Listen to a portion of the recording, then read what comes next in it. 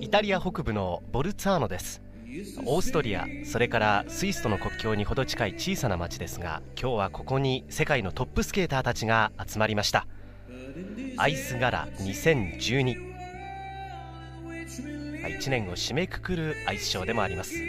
お話はプロスケーターのすぐりちかさんです。どうぞよろしくお願いします。よろしくお願いします。ちょうど場内ではオープニングがしっとりとそしてこれから華やかに始まっていくところですが場内も7000人超満員という風に聞きましたがすごいですね雰囲気がね。すごいですね。皆さん盛り上がりが本当に素晴らしいと思います、はい、まあ美しくそして華やかに豪華なアイスショーの始まりです。オープニングは1973年に公開されましたポール・マッカートニーウィングス作曲あの映画007シリーズ「死ぬのは奴らだ」より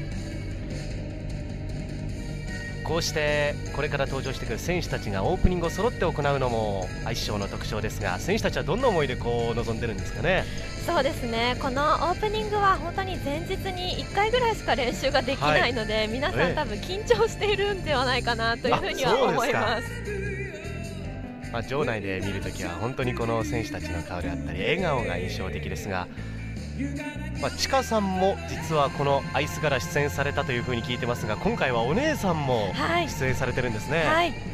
見ていて緊張しますね。あ、ちかさんが緊張します。はい。実際このアイス柄出演されていかがでしたか？はい。あのー、ヨーロッパのショーというのは、はい、なかなか出ることができないんですけれども、えー、あの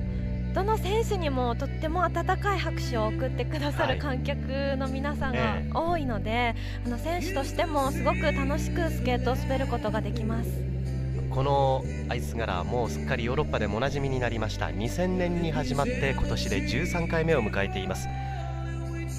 このボルツァーノで行われているのが12月29日ですが前日の28日にもドイツのレゲンスブルク。それからこれを終えて30日にもまたドイツのオーバースドルフと3日間の公演が行われています。今回はヨーロッパチャンピオン地元このボルツァーノ出身の世界チャンピオンコストナーそれからフランスからはこの人ブライアン・ジュベール。さらにアメリカからアダム・リッポン。そして日本からも先ほど